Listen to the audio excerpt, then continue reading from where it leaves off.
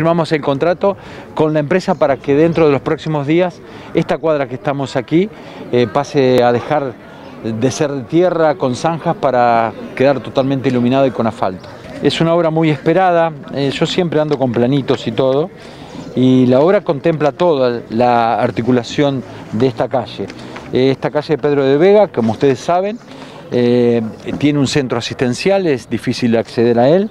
lo que hacemos aquí es eh, asfaltar toda la calle con los desagües en cada esquina, con iluminación LED, con rampas para discapacitados.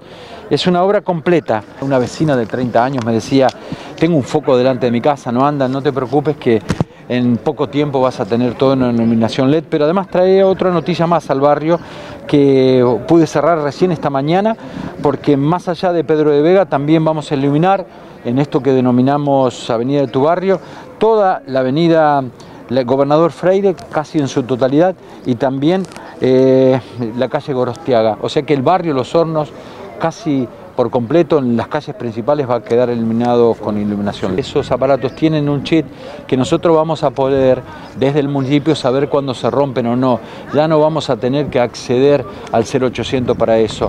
Eh, vamos a trabajar en los software suficientes, pero ya los aparatos son más inteligentes que los viejos de sodio que tenía la ciudad de Santa Fe. La iluminación y la calle es lo fundamental, porque Hace un año y medio que yo estoy sin luz en, la esquina de mi casa. Es una boca de lobo, la verdad.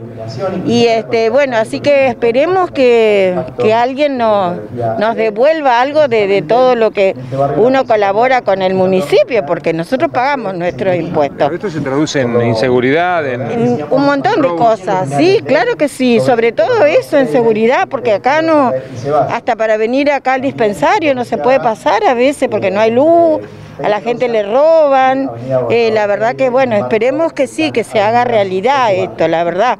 Esperemos que realmente se haga realidad.